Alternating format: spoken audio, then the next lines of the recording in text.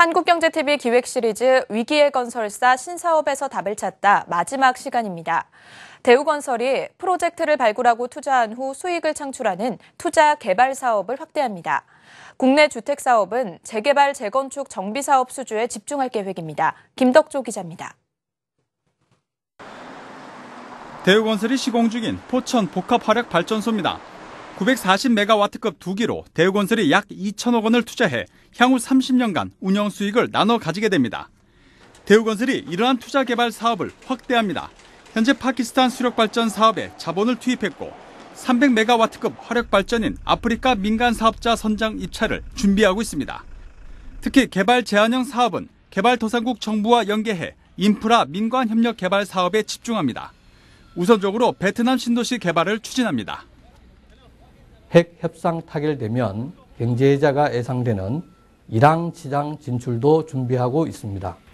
시장 트렌드에 부응하여 IPP, 개발 제한형 사업, PPP 등의 다양한 투자 동반 방식도 병행할 계획입니다.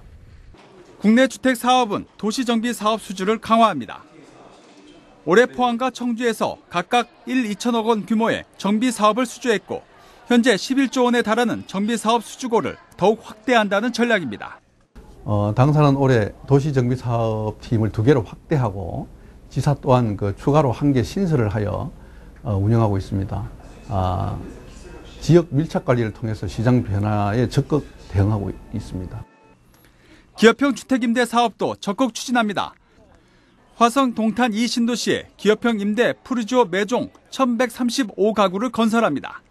어, 향후에 그 수도권 내에 예, 그린벨트 활용 가능 지역을 발굴을 하고 어, 또 중산층 트렌드에 맞는 주거 서비스 등 기획, 기획 제한형 사업을 적극 검토 중에 있습니다. 대우건설은 현재는 국내에 모두 단순 도급을 통해 수익을 얻고 있지만 향후 기술뿐만 아니라 기획, 자본까지 아우르는 개발 사업을 통해 계속적으로 수익이 창출되는 일명 수익 파이프라인을 건설한다는 계획입니다. 한국경제TV 김덕조입니다.